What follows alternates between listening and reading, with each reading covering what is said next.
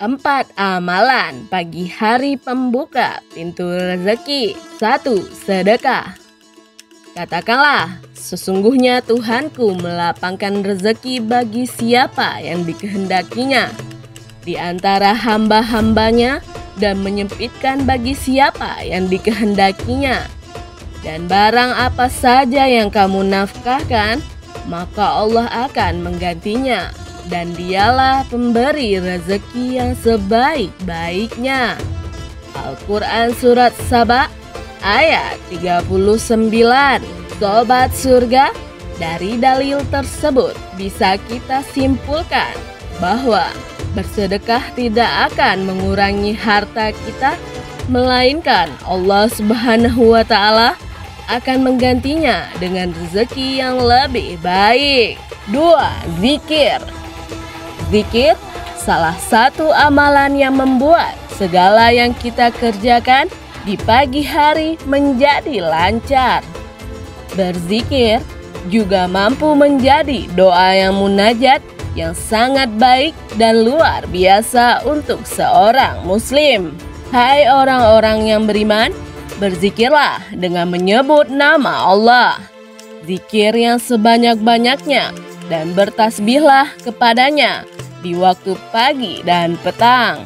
Al-Quran Surat Al-Ahzab ayat 41 sampai 42.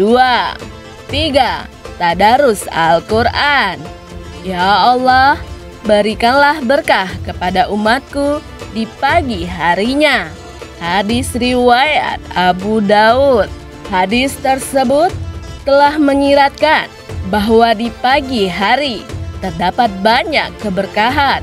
Oleh karenanya, sebagai umat Muslim, kita dapat memaksimalkannya dengan tadarus Al-Quran, karena membaca Al-Quran adalah salah satu amalan yang disukai Allah.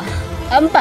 Sholat duha Sobat surga, Sholat duha merupakan amalan yang selalu dikerjakan oleh Rasulullah Shallallahu Alaihi Wasallam.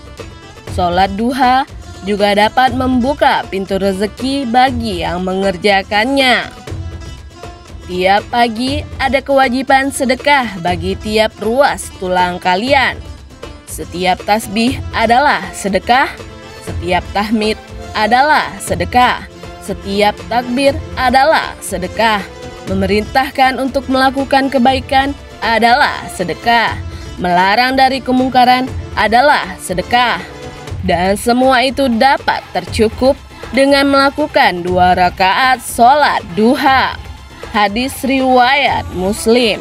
Itu dia empat amalan pagi hari yang dapat membuka pintu rezeki.